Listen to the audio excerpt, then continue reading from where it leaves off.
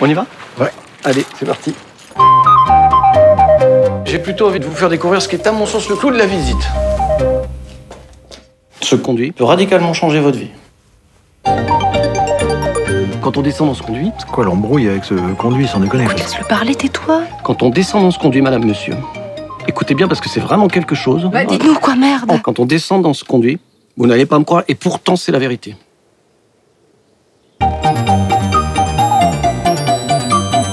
C'est juste dingue.